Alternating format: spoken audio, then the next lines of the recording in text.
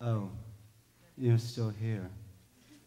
Is everyone like Mama LaRoux? You see, Mama LaRoux's one of the inmates here at the asylum. One day, the voodoo queen actually came to visit her. She had spells and hexes, and while they were powerful and all of her prophecies came true, she was nowhere as scary as Mama LaRoux.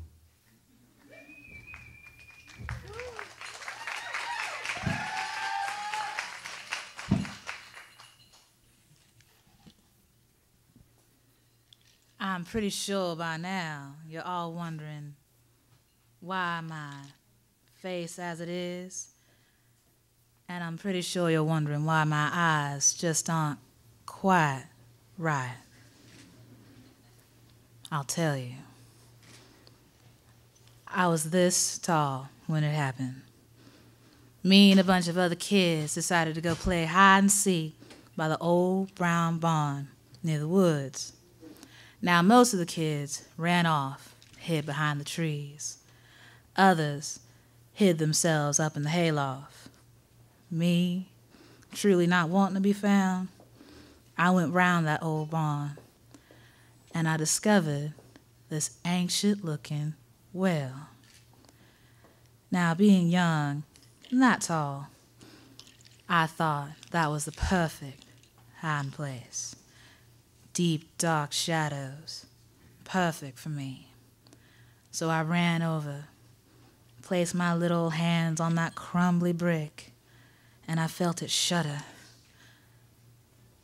And I fell down, down into that well, about eight, nine feet down. I landed on molded leaves and years of old earth. I was stunned. And I looked up, knowing I had to climb my way out before Mama got too upset. So I put my hands on that wall, started to climb my way out when I heard this noise.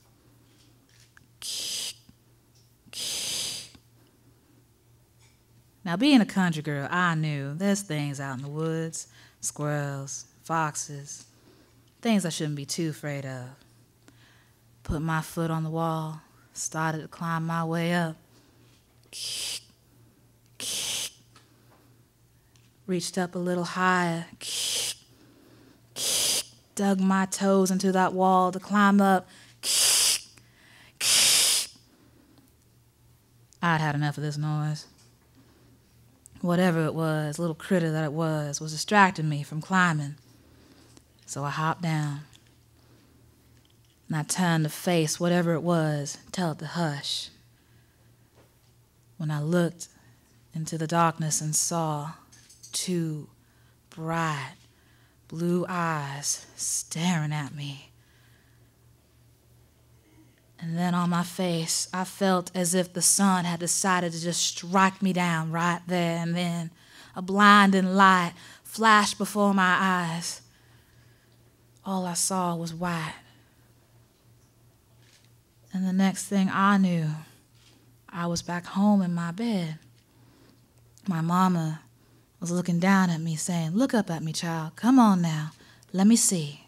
Look up. I wiped the blood from my face. Scars had already started to make their home there. My face was forever changed.